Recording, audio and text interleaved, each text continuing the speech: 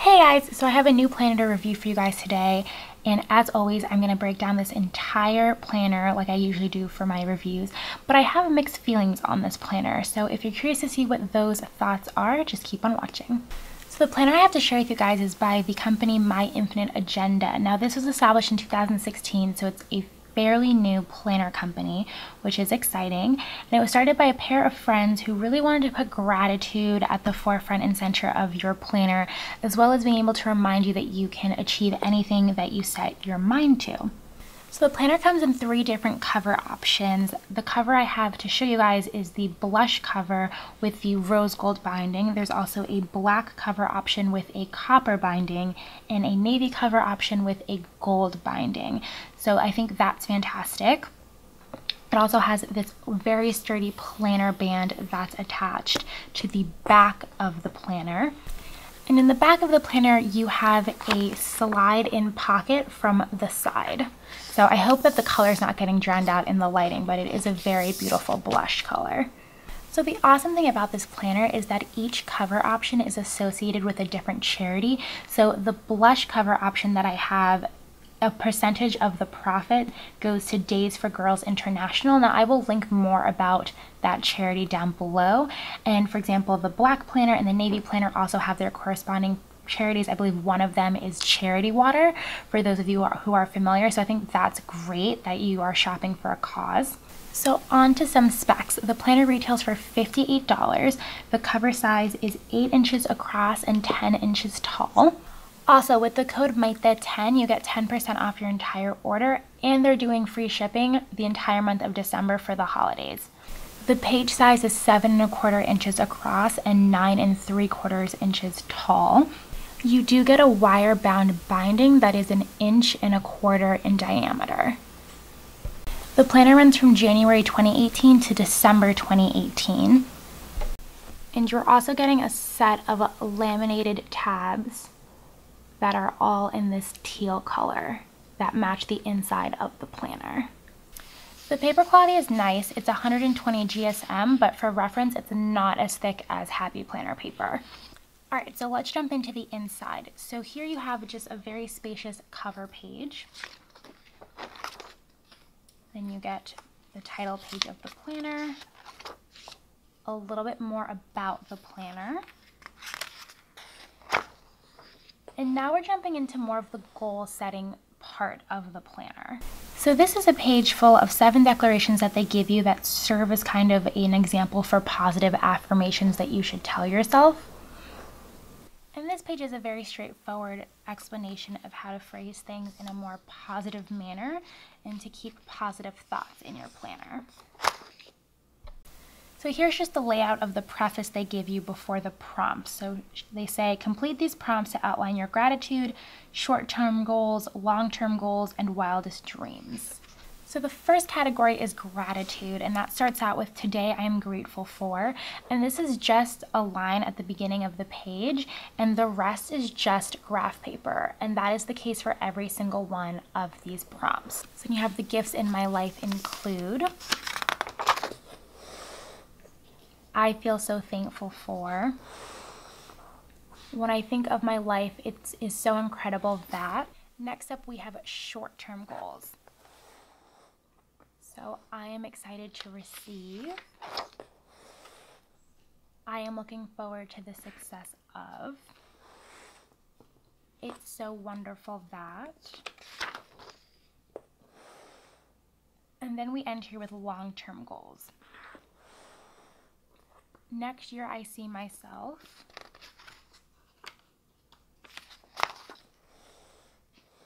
In five years my life will include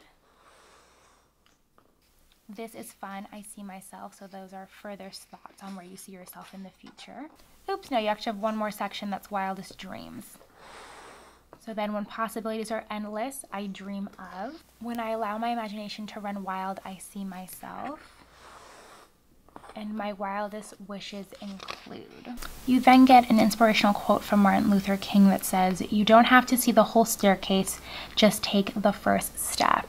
And then that jumps into your vision board pages. So this explains a little bit about what a vision board is. they give you four pages with a patterned edge to draw out your vision board. So then we have your year at a glance pages with 2018 on one side. And 2019 on the other.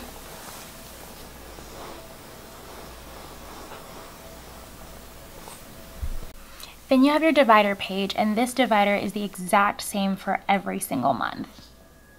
So next up, we have your monthly calendar and dashboard pages. And I've actually haven't seen this before in a, a planner this big, that the calendar is actually only on one page. And I hope on this camera you can see it because I know the font's quite small, but the boxes are quite tiny and it runs from Monday through Sunday. So you have it all there on one page holidays are not included, and you have a little section for notes and your previous month at a glance and your upcoming month at a glance. So the next page is what's supposed to function as your monthly dashboard page and these prompts on this page are very similar to the prompts at the beginning of the planner, also on graph paper. So you have this month I am excited to accomplish these short-term goals. This month I will grow closer to these long-term goals. And at the bottom, it's in my wildest dreams, I'm looking forward to receiving. So it ties in all of the sections that you had worked on at the beginning of your planner. Now getting into the weekly pages of your planner, this layout is quite spacious. So you have two days per page. So you have the month at the top of the page, and then you have Monday and Tuesday sharing one entire page. And just to give you a size comparison, the height of each of these boxes is roughly four inches.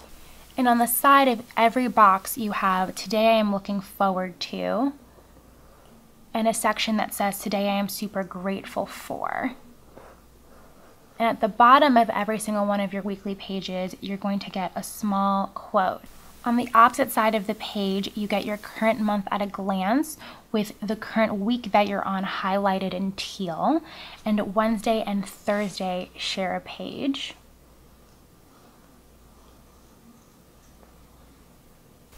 Your Friday through Sunday also share a page.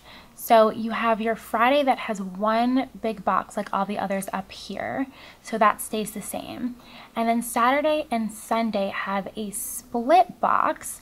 And then the what you're looking forward to section and the what you're grateful for section are split among the two boxes but the space to write on Saturday and Sunday is significantly smaller than all the other boxes, so that's something to keep in mind. Then on the opposite side of your weekend spread, you have a notes page to round out the week, and that's graph paper, but this note page actually only goes to half of the page, and then the other half of the page is one large motivational quote. At the end of every month, you have a section called This Month's Infinite Winnings, and this is a section at the end of each month to track goals and dreams that may have come to fruition. These are your infinite winnings. Take some time to reflect on them here, and soon many more will be coming your way. So, again, this is just a prompt, and you have graph paper on one side and graph paper on the other. And the planner continues like that throughout the rest of the year. So, what are my overall thoughts on this planner? From the get go, it is very pretty to look at. I love the attention to detail that they put in the exterior of the planner. If you're into very feminine looking agendas or you have a very feminine theme going on on your desk, I can see this looking absolutely beautiful on any desk. And the reason I say on a desk is because this isn't a very portable planner at all. And that's not saying that it's meant to be. Not every agenda or planner is meant to be portable. But just giving you guys a heads up, this is quite heavy. One, because the cover is quite hefty, and two, because the layout that they're using probably requires a lot of pages. And because they're using pretty good quality paper, it's bound to add to the heaviness of this planner. That being said, I think this would be perfect for someone who's in search of a desk planner and needs that space to write everything they need to do throughout the week and have felt maybe constricted by other planner layouts that maybe don't accommodate what they need to write, or maybe they have very big handwriting, they want to do very big lettering in their planner. I mean, you can play a lot with that layout through month from Monday through Friday. However, because I keep it 100% honest on this channel with everything I have ever reviewed, where this planner loses me is the price. It retails for $58, like I mentioned at the beginning of this video. And I'm going to explain to you guys why, in my opinion, I think that's a little high. $58 puts this planner at the second most expensive planner I have ever reviewed on my channel. The first being the Emily Ley Simplified Planner, and these are neck and neck. That one is also $58. I will put the review I did on that in the eye in the sky. Um, and usually when you're talking about over 50 something dollars for a planner, you're getting into the daily planner category where you're covered with every single day throughout the entire year, which is why they tend to be more expensive. Or you're looking at something that has luxe finishes from start to finish, or you're going the more Erin Condren route where it's customization. And the reason I bring up Erin Condren is because I'm looking more at binding similarities. I know Erin Condren's coil and this is wire bound, but you know what I'm saying? Like you get a once you're paying over $50 for an Erin Condren, you're getting a very high level of customization, including picking the layout of the inside. Now, obviously, this isn't a daily planner, and obviously, you don't get that level of customization other than the exterior that I explained but I do not think you're getting those luxe details from start to finish in this planner. So my point being the cover of this planner is quite luxe. Like I don't know if you can see that, but this is actually all in rose gold foil and this pattern has rose gold accents as well. And that matches the rose gold binding that it has. And that's true for every cover that you get in this planner. I just wish I would have seen more of those luxe touches throughout the entire planner. For example, the Lake and Loft planner review that I did, which I'll also link in the eye in the sky, that was my Luxe pick for 2017 because the Luxe finishes carried through from the cover all the way through every single spread of the planner where you even got gold foiling on all of the dividers within certain spreads of the planner and I believe that planner this year retails for $40. So I believe for the price you were totally getting an ultimate luxe experience. So delving more into the layout of this planner, it does claim to have expansive functional writing spaces. And like I said, that is partly true throughout the week. But if you look at something even like the calendar, as I mentioned before, for how large this planner is, this calendar is very, very small. I'm just going to compare this to the Mini Happy Planner calendar spread. So this is their undated one. And again, this is a mini size happy planner. So it's like kind of a personal wide size for those who aren't familiar. And this is how much bigger every single square is compared to this planner. My point being that if this is going to be the planner that you invest your money in, that you want to be at your desk, whether at home or at work, most of the time you want it to be a planner that is much bigger than this if you're looking at a planner this size. That tends to be the case. In that same vein, if this is meant to be for somebody who really lacks that writing space that they crave, I also find the weekend spaces to be too small. And I think the space has to come from somewhere. Either they could have made the looking forward to and grateful for only one line on the weekends, or maybe one line throughout the entire week, just to give you that entire bout of space here. Or taking it from the adjacent page where you have half of it notes and half of it a motivational quote. I think they could have made this part Sunday to have Saturday in its entirety on the other page and then gotten rid of the quote at the bottom and just replace it with the notes pages, if that makes sense. I think that way it would have kept the functionality of having an expansive space to write through every aspect of the planner and not only Monday through Friday, especially as I mentioned, a planner of this size.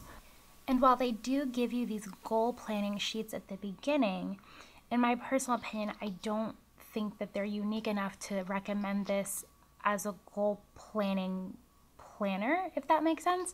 Like these aren't like the Lara Casey Power Sheets, which I know is an entire planner on its own, but it's also not like the planner that I just reviewed that was like very unique in its productivity layout or like other goal planning worksheets that you can download, I would recommend this as a planner. Like it's mainly a planner, and the goal planning worksheets that they do give you at the beginning are really just prompts on graph paper that them and themselves are not unique.